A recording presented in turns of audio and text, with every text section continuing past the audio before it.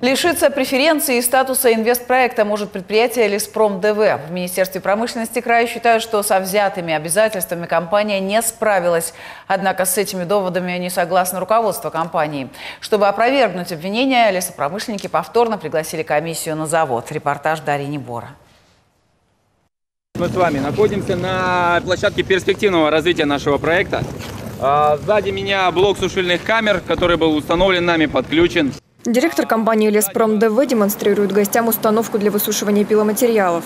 Аппарат запущен, внутри камеры древесина. Экскурсию проводят по всем шести цехам предприятия. Руководство заверяет, что все шесть в рабочем состоянии.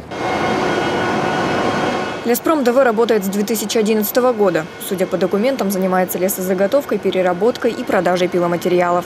В 2011-м комплекс включили в список приоритетных. Этот статус позволил без аукционов получать лесные участки в районе поселка Хор. На 50% была снижена стоимость аренды лесосек. Но помимо преференций есть и обязательства – соблюдать план развития предприятия. Впервые нарушение сроков комиссия выявила в апреле. Не изменилась ситуация и через полгода.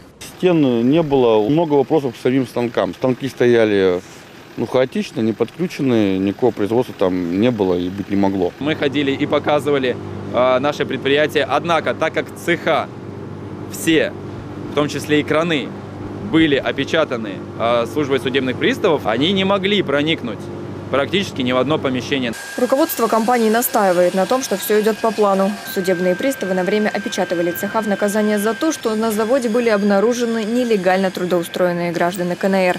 Однако убедить экспертов и в этот раз не удается. Уверены, что на лесные участки найдутся более достойные претенденты. Край ничего не потеряет, потому что сейчас мы видели рабочие силы китайцев, то есть я не видел русских. Для края хорошо, когда э, увеличатся рабочие места, платятся налоги.